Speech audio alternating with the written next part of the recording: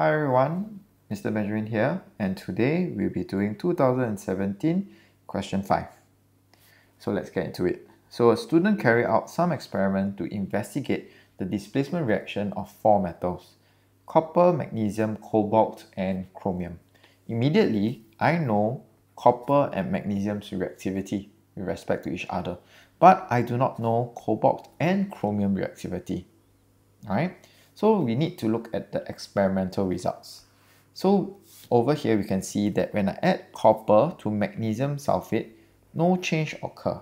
So I am very very sure, and I already know actually, that magnesium is more reactive than copper. So magnesium above copper, right? And then we can see that copper has no reaction with cobalt sulfate. That means it is not able to displace cobalt. And copper also cannot displace chromium. So cobalt cannot, no reaction with magnesium, no reaction, no reaction. It would mean that copper is the least reactive. Okay, so now let's see magnesium since it's something that we already know. So magnesium can displace copper, right, because a brown solid is formed. Uh, cobalt can displace also cobalt because a gray solid forms. And chromium, magnesium can also displace chromium. So also gray solid form. So I know that magnesium can displace all the metals, means magnesium is the most reactive metal. So now we need to decide between cobalt and chromium. If cobalt can displace chromium, cobalt is more reactive. If cobalt cannot displace chromium, cobalt is less reactive than chromium. So let's look at cobalt, right? Let's look at cobalt with chromium sulfate, this one over here. So over here we can see that cobalt cannot displace chromium. Right, I repeat, cobalt cannot displace chromium. That will mean that cobalt is less reactive than chromium. In order to confirm our uh, hypothesis, chromium and cobalt sulfate. So you can see that chromium can displace cobalt. So chromium displaces cobalt, you get the gray solid. So that means that chromium is more reactive than cobalt. So chromium is more reactive than cobalt. Okay? Alright, let's take a look. Next one. Magnesium sulfate solution is colorless. Right? So complete the table to show the colors of the other metal sulfates. So we are not really expected to know, right? So therefore we have to look at the table over here. So if we look at this, uh, so we know that um, copper we know that copper cannot displace any of these reactions.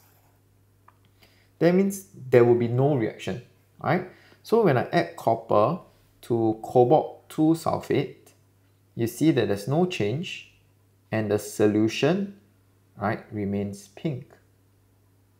That means cobalt sulfate is originally pink. Let's look at copper with chromium 3 sulfate. Because copper cannot displace chromium 3 sulfate, chromium 3 sulfate will be in the end. So chrom copper chromium 3 sulfate remains green, means that chromium 3 sulfate is green. So I know that cobalt 2 sulfate is pink, and I know chromium 3 sulfate is green. Then what about copper 2 sulfate? So this is something that you need to know right? Because this is something you've been doing since Sec 1. Copper 2 sulfate is blue in color. Alright, let's move on to the next part. So these are all displacement reactions and they said that the displacement reaction is exothermic. Exothermic means energy is released. Exo, exit, so energy released. So I need to draw an energy profile diagram of chromium and cobalt sulfate. So let's check. Chromium and cobalt sulfate, did the reaction occur? Chromium, cobalt sulfate, yes, reaction occurs. So it needs to be exothermic, so that means the energy should go down because energy release. I release energy, so I have less energy in the end. So I need to put something here, lower, and then my activation energy right and then the names of the products before doing that let's just label because we all know how to label this. Dotted line always from the reactant, we only draw one dotted line.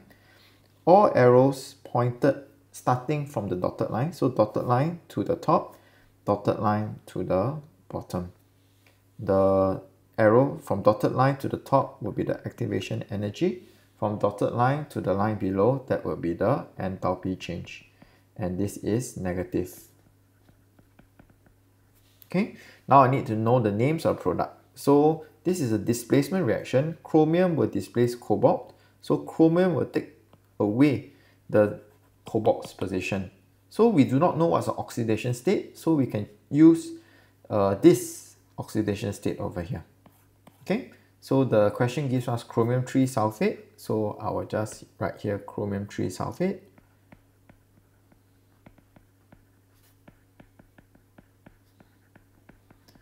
And chromium 3 sulfate and the cobalt comes out. So cobalt metal.